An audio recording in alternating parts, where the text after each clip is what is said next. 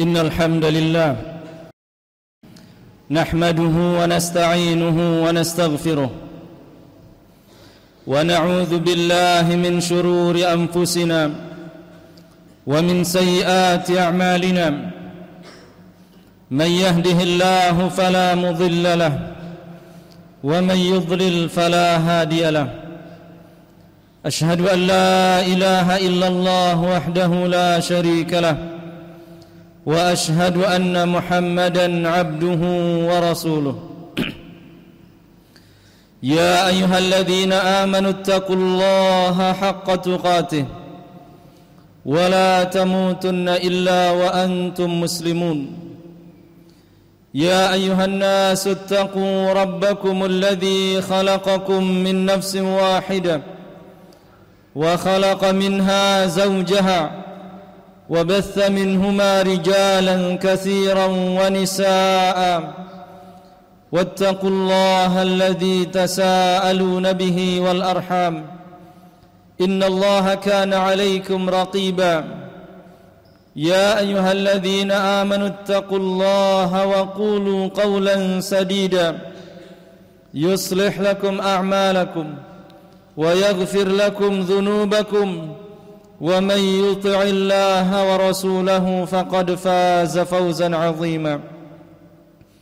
أما بعد فإن أصدق الحديث كتاب الله وخير الهدى هدى محمد صلى الله عليه وسلم وشر الأمور محدثاتها فإن كل محدثة بدعة وكل بدعة ضلالة وكل ضلالة في النار معاشر المسلمين sidang Jumat rahimani wa rahimakumullah Allah Subhanahu wa taala memerintahkan kepada kita untuk senantiasa saling menasehati dan saling mengingatkan dalam firman-Nya ia mengatakan wa dzakir inna dzikra tanfa'ul mu'minin dan berikanlah peringatan. Sesungguhnya peringatan itu bermanfaat bagi orang-orang yang beriman. Dalam ayat yang lain Allah Subhanahu wa taala menyebut manusia ini berada dalam keadaan merugi. Dan Allah mengecualikan di antara mereka yaitu orang yang senantiasa saling menasehati dengan kesabaran dan kebenaran. Sebagaimana dalam firman-Nya wal asri innal insana lafi khusr. Sesungguhnya demi masa sesungguhnya manusia berada dalam keadaan merugi. Illa alladzina amanu kecuali orang-orang yang beriman wa amilus salihat beramal saleh watawasau bil haq watawasau bis sabr dan dia terus saling menasehati dengan kebenaran dan saling menasehati dengan kesabaran. Maka ada beberapa hal yang khatib ingin sampaikan kepada antum wahai para tulabul ilm dan juga para jamaah sekalian yang mudah-mudahan nasihat yang kita sampaikan ini bermanfaat untuk diri kami pribadi dan juga untuk para jamaah sekalian. Yang pertama adalah taqwallahi fis sirri wal alan. Bertakwa kepada Allah Subhanahu wa taala baik di saat sendiri maupun di saat ramai. Takwa di saat sendiri dan di saat ramai sudah mulai langka kita temukan di dada-dada kaum muslimin. Terlebih di dada para pemuda kaum muslimin dan para pemudinya. Dengan banyaknya sarana untuk melakukan maksiat entah berupa tontonan dan yang lainnya. Ketika sarana itu sudah berada di genggaman masing-masing kita, maka kemaksiatan itu begitu dekat dari kita. Maka satu-satunya cara untuk menghindarkan dari diri kita dari keburukan kemaksiatan dikala sendiri adalah dengan menumbuhkan takwa Allah rasa takwa, rasa takut kepada Allah baik di saat ramai maupun di saat sendiri. Nabi sallallahu alaihi wasallam dalam hadis yang sahih beliau mengatakan ittaqillaha haitsuma kunta. Bertakwalah kepada Allah di mana pun engkau berada. Engkau berada di pondok ataupun berada di rumah engkau berada di tempat ramai maupun di saat sendiri di ruangan yang tertutup bertakwalah kepada Allah Subhanahu wa taala Allah Subhanahu wa taala dalam banyak ayat memuji orang-orang yang memiliki rasa takut kepada Allah dikala dia sendiri. Di antaranya lah firman Allah Subhanahu wa taala innal ladzina yakhshawna rabbahum bil ghaibi lahum maghfiratun wa ajrun kabir. Sesungguhnya orang-orang yang takut kepada Rabbnya bil ghaib. Ada dua maknanya kata para ahli tafsir. Yang pertama bil ghaib maknanya di saat tidak ada orang yang melihatnya apa ganjarannya lahum maghfirah maka orang yang mampu bertakwa kepada Allah di kala sendiri dia akan diberikan ampunan wa ajrun kabir dan pahala yang besar. Ampunan dan pahala dua hal yang paling kita butuhkan. Karena ampunan akan menghapuskan dosa-dosa kita dan pahala yang besar akan memperbanyak timbangan amal soleh kita. Sehingga tatkala kebaikan dan keburukan itu ditimbang maka lebih beratlah timbangan kebaikan itu. Dan Nabi sallallahu alaihi wasallam juga sangat senang bahkan berikan kabar gembira kepada orang-orang yang mampu melakukan kebaikan walau tidak ada satu mata pun yang melihatnya tidak ada satu orang pun yang mengetahuinya sebagaimana sabda Nabi sallallahu alaihi wasallam tentang sab'atun yudhilluhumullahu fi dhillihi yawma la dhilla illa dhilluh. Ada tujuh jenis manusia jenis golongan. Di saat manusia kepanasan nanti di padang mahsyar Allah Subhanahu wa taala khususkan dia dengan naungannya. Siapa dia di antaranya adalah rajulun tasaddaqa bisadaqatin seseorang yang bersedekah dengan sebuah sedekah dia bersedekah biyamini dengan tangan kanannya hatta la ta'lamu shimaluhu ma anfaqat yaminuhu saking tersembunyinya amalannya tersebut sampai-sampai tangan kirinya tidak tahu apa yang disedekahkan oleh tangan kanannya. Inilah keutamaan orang-orang yang mampu berbuat baik di saat tidak ada manusia yang mengetahui. Ada nilai lebihnya tatkala orang mampu berdiri bangun salat di tengah malam di saat tidak ada yang melihatnya itulah ciri atau tanda ketulusan dan keikhlasan. Ya Allah Subhanahu wa taala akan berikan ganjaran yang besar bagi orang yang mampu menjalankan perintahnya, menjauhi larangannya di saat dia sendiri. Jadi nasihat yang pertama yang kita sampaikan kepada antum semua wahai tulabul ilm, jangan sampai kita memilah-milih bertakwa ini. Bertakwa di hadapan ustadznya, bertakwa di hadapan musyrifnya. Tapi kalau sudah jauh dari pengawasan ustadznya jauh dari pengawasan musyrifnya seolah-olah semuanya halal. Tidak ada yang haram lagi. Semua dilakukan. Maka hati-hatilah khawatirnya kita telah salah jalan. Kita telah meniti jejaknya orang-orang munafikin. Allah Subhanahu wa taala menyebutkan ciri mereka. Orang-orang munafikin kata Allah yastakhfuna minan nas wala yastakhfuna minallah. Orang munafikin itu malu dilihat orang. Bersembunyi dari pandangan manusia. Namun tidak pernah malu dilihat oleh Allah Subhanahu wa taala para ulama juga mengatakan iyyaka an taj'alillaha ahwanan nadhirina ilaik hati-hati kamu Jangan sampai pandangan Allah itu adalah pandangan yang paling remeh bagimu. Tatkala manusia melihatnya tidak berani dia melanggar. tapi tatkala Allah melihatnya dia langgar semuanya. Seolah-olah pandangan Allah tidak berguna. Seolah pandangan Allah Subhanahu wa taala paling rendah di matanya. Kaum muslimin sidang Jumat rahimani wa rahimakumullah. Kemudian yang kedua yang patut kita tumbuhkan dalam diri kita dan patut kita saling menasehati dengannya adalah bersungguh-sungguhlah di dalam menuntut ilmu. Penuntut ilmu itu banyak, namun yang bersungguh-sungguh itu sedikit sekali. Dan ketahuilah, orang yang berhasil adalah orang yang bersungguh-sungguh. Dan orang yang pemalas, meskipun dia pintar, dia tidak akan berhasil. Kesungguhan akan mengalahkan kepintaran kalau dia tidak bersungguh-sungguh.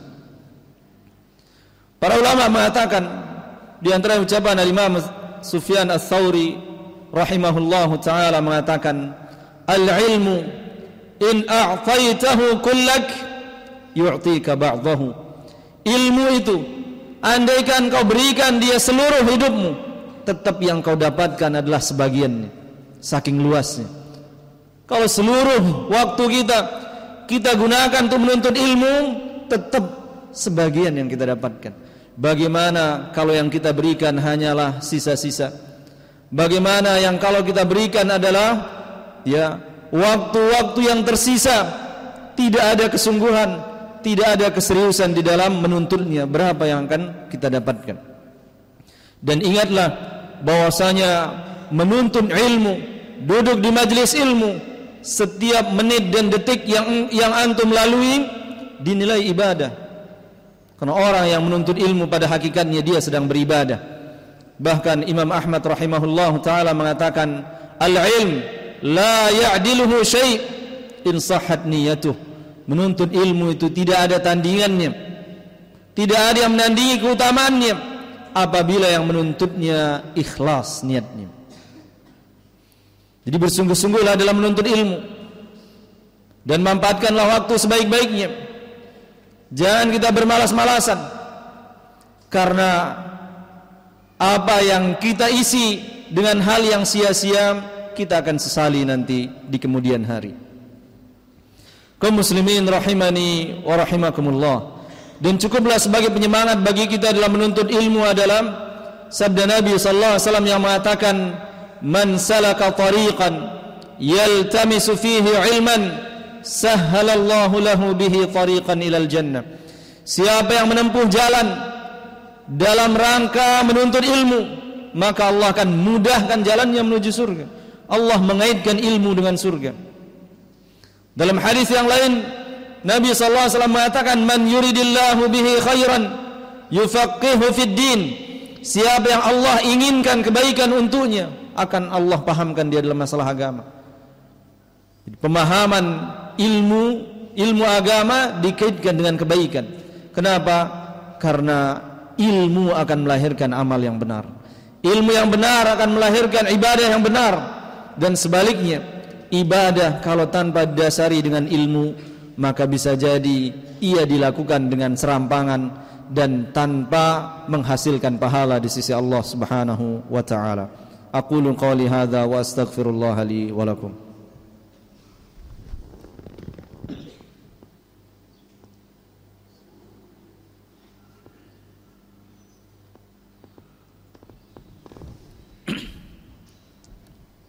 Alhamdulillah ala ihsanih والشكر له على توفيقه وامتنانه أشهد أن لا إله إلا الله وحده لا شريك له تعظيما لشأنه وأشهد أن محمدا عبده ورسوله الداعي إلى رضوانه Kemudian yang ketiga yang perlu kita saling menasehati dengannya adalah bersungguh-sungguhlah mengamalkan ilmu yang telah kita pelajari. Ketahuilah bahwasanya ilmu akan bernilai nanti pada hari kiamat kalau dia membuahkan amal. Kalau ilmu hanya sekedar koleksi saja, hanya sekedar diketahui saja tanpa terlihat buahnya dari perilakunya, dari tutur katanya, dari akhlaknya, cara berpakaiannya, tidak mencerminkan dia menuntut ilmu, khawatirnya inilah ciri ilmu yang tidak bermanfaat itu. Ilmu yang bermanfaat adalah ilmu yang tidak membuahkan amal dan Nabi sallallahu alaihi wasallam berlindung dari ilmu yang tidak bermanfaat. Nabi sallallahu alaihi wasallam mengatakan, "Allahumma inni a'udzubika min ilmin la yanfa'." Ya Allah, aku berlindung kepadamu dari ilmu yang tidak bermanfaat. Kenapa? Ilmu yang tidak bermanfaat hanya sekedar diketahui namun tidak diamalkan, ini akan menyeret pemiliknya ke neraka. Dan ingat Allah Subhanahu wa taala sangat benci dan murka kepada orang yang mengetahui namun tidak mengamalkannya. Allah Subhanahu wa taala berfirman, "Ya ayyuhalladzina amanu, lima taquluna ma la taf'alun?" Wahai orang-orang beriman, untuk apa kamu ucapkan sesuatu yang kamu tidak lakukan? Kabura maktan indallahi an taqulu ma la taf'alun. Amat besar murka Allah terhadap kalian di saat kalian mengucapkan sesuatu namun kalian tidak mengamalkannya dan betapa banyaknya sifat tercela itu pada diri kita wahai penuntut ilmu. Banyak kita ketahui namun kita sengaja melanggarnya. Banyak kita ketahui haram namun tetap kita lakukan. Banyak kita ketahui terlarang namun tetap kita melanggarnya. Hati-hati. Maukah kita menjadi orang yang dimurkai oleh Allah Subhanahu wa taala? Bahkan Nabi wasallam menyebutkan nanti pada hari kiamat. Ya. Neraka itu dipanaskan pertama kali di antaranya kepada siapa? Para penuntut ilmu yang tidak ikhlas dalam menuntut ilmu. Berarti dia tahu ikhlas adalah keharusan, namun dia tidak menerapkannya pada dirinya. Yang dia harapkan adalah balasan-balasan, imbalan-imbalan duniawi. Maka merugilah orang-orang tersebut. Al-ilmu hujjatun laka aw alaika jadi ilmu bisa menjadi hujjah yang dapat menyelamatkan kita namun bisa juga menjadi hujjah yang dapat membinasakan kita pada hari kiamat nanti. Oleh sebab itulah Abdullah bin Umar radhiyallahu an mengatakan ta'allamu ta'allamu ta'allamu fa idza alimtum fa'malu. Belajarlah kalian, belajarlah kalian, belajarlah kalian.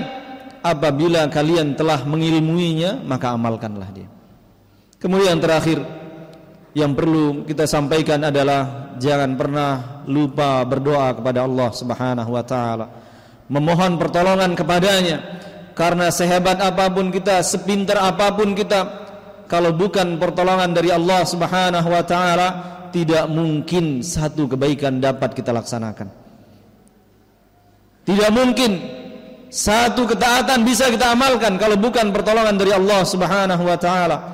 Maka Nabi sallallahu alaihi wasallam orang yang paling sempurna ilmunya tetap beliau berdoa mengatakan Allahumma a'inni ala dzikrika wa syukrika wa husni ibadatik ya Allah aku mohon kepadamu bantulah aku tolonglah aku untuk senantiasa mengingatmu bersyukur kepadamu dan beribadah dengan baik kepadamu mudah-mudahan empat nasihat ini bisa bermanfaat untuk diri kami pribadi dan juga untuk para tulabul ilm, para jamaah sekalian. dan mudah-mudahan Allah Subhanahu wa taala senantiasa memberikan kita taufik dan keistiqamahan untuk tetap sabar dan tegar di atas ketaatan kepadanya. Innallaha wa malaikatahu yusalluna 'alan nabi. Ya ayyuhalladzina amanu sallu 'alaihi wa sallimu taslima. Allahumma salli 'ala Muhammad wa 'ala ali Muhammad kama sallaita 'ala Ibrahim wa 'ala ali Ibrahim innaka Hamidum Majid. Wa barik 'ala Muhammad wa 'ala ali Muhammad كما باركت على إبراهيم وعلى آل إبراهيم إنك حميد مجيد. اللهم اغفر للمسلمين والمسلمات والمؤمنين والمؤمنات الأحياء منهم والأموات إنك سميع قريب مجيب الدعوات. ربنا لا تزغ قلوبنا بعد إذ هديتنا وهب لنا من لدنك رحمة إنك أنت الوهاب. اللهم أرنا الحق حقا وارزقنا اتباعه وأرنا الباطل باطلا وارزقنا اجتنابه اللهم إنا نسألك علما نافعا ورزقا طيبا وعملا متقبلا. اللهم يا مقلب القلوب ثبت قلوبنا على على دينك. ويا مصرف القلوب صرف قلوبنا على طاعتك. ربنا آتنا في الدنيا حسنة وفي الآخرة حسنة وقنا عذاب النار.